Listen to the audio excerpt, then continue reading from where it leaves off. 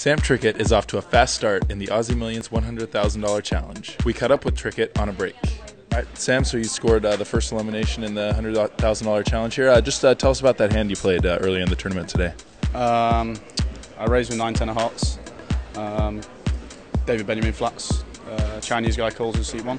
Played him a little bit in the Macau games just recently. The flop come 9 10 5. I had 9 10.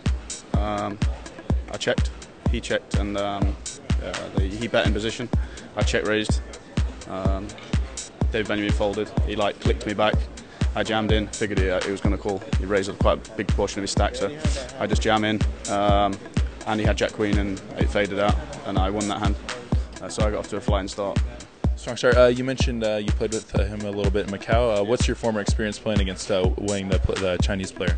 Yeah, that's why I played. The, I check raise the flop. It's really random. Normally I'd just go ahead and c-bet there, but um, he's like likes to bet a lot in position, and once he bets, like once he's the aggressor in the pot, he doesn't really like to lay down. So um, he's going to play draws pretty strong. So I decided to try and get the stacks in from. If I bet he might just call, and then all of a sudden I can't get the stacks in. So I go for a check raise, and it, it worked out. But um, he tends. He's really aggressive with his draws, so that's why I took that line.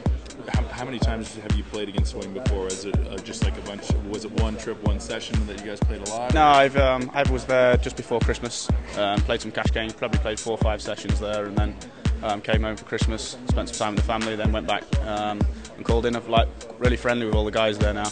Um, got a good relationship with all the guys, and um, I played probably another five or six sessions. And, um, doing well, yet to have a losing session, so uh, may continue. The stakes was um, 650 $1,300 blinds sometimes with a straddle, sometimes not. So. It is early goings, but Trickett is currently the chip leader here at the Aussie Millions $100,000 Challenge. Make sure to check back for more coverage and video updates on cardplayer.com.